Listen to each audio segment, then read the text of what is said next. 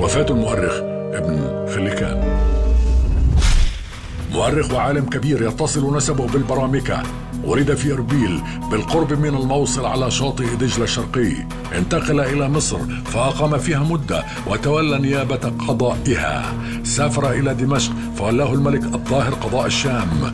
درس في الكثير من مدارس دمشق. يعتبر ابن خليكان من أشهر كتاب التراجم ومن أحسنهم ضبطا وإحكاما. صنف العديد من الكتب والمصنفات الهامة. أشهرها كتابه وفيات الأعيان وأنباء أبناء الزمان.